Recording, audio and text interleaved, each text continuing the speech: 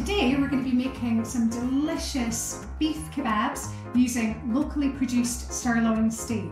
Here's what we need to get started. This is a great way to jazz up steak night. We're using sirloin, but bavette or rump works great here. So first we're going to make our spice mix. Feel free to try other combinations depending on what you have in the cupboard. Now we add our diced sirloin steak and leave it to marinade. Chop your veggies.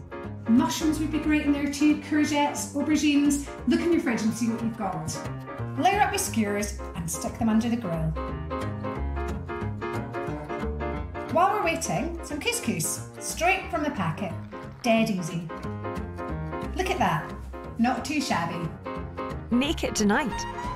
For more Scotch beef and Scotch lamb PGI recipes, visit scotchkitchen.com.